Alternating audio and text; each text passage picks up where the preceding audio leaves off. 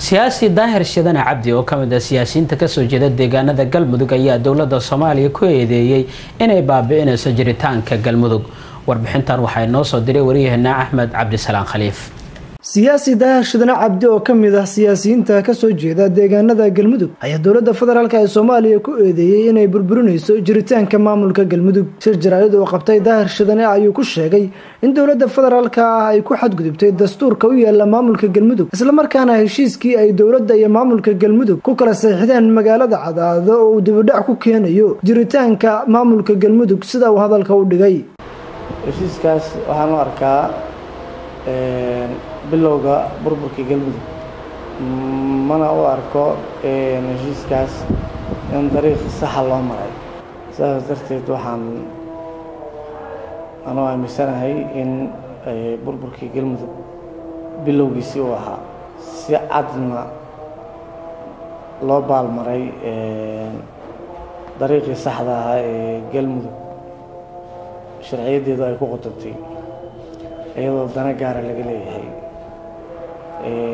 danahaasoo horseed ah oo ah baabi'inta galmudug. Waddadii galmudug lagu baabi'i lahaa ayaana heshiiskaas. Waxaa lagu sheegay heshiiska dhanka kale siyaasi daahir shidane cabdi ayaa baarlamaanka maamulka galmudug ku eedeeyey inay indhaha iska tirayaan. Sharciga u yaalla dowlad goboleedka galmudug welina aysan jirin baarlamaanku go'aan cad ay ka soo saareen. Qaabka loo wajahayo doorashada madaxweynaha maamulka galmudug.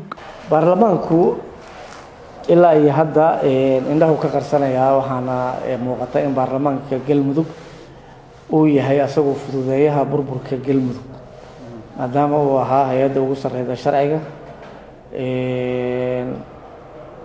uuna guddigii baarlamaanku annagu guddi doorashaan ogeyn oo ku astaysnaa maanta inay doorasho qabtaan oo bishii toban tahay kadibna si aan bulshada galmudug loo faahfaahin ayaa wafdi ka socda dowladda dhexe. U soo gaaray cadaado xaruntii ku-meel gaarka ahayd galmudug kadibna waxaa la filayey in si ballaaran oo qoto dheer wafdigaas ujeeddada socodkiisa iyo waxa uu kala hadli doono galmudug in loo soo bandhigo.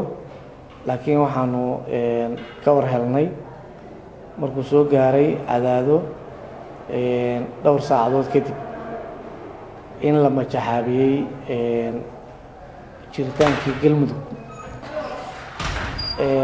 lagana noqday go'aankii baarlamaanka ay ahaa tobanka bishan in doorasho la qabo doono ay doorashadu dhici doonto iyadoo la soo saaray war aan ilaa iyo hadda war ilaa iyo hadda mugdi geliyey jiritaankii galmudug heshiis aan caddayn cidda ku maqan cidda galmudug u matalaysa cidda xaqa ule inay u matasho la yidhi koob iyo labaatan casho ayaa dib loo dhigay oo aan damaanad qaad lahayn oo aan qorshe cad lahayn. Taasna ilaa iyo hadda baarlamaanku. Markii hore galfadhi ayuu ku soo saaray. Kadibna go'aankan dambe go'aan baarlamaaniya oo oo sax ah lagama soo saarin ugu dambeyn daahir shidane ayaa shacabka ugu baaqay in loo baahan yahay in iyagu ka tashadaan aayahooda. Marka waxay u muuqataa in intii hore oo wax isku darsatay in hadda ay la kala diray waxaa la gudboon inaysan aayahooda cid dambe ay ku aaminaan.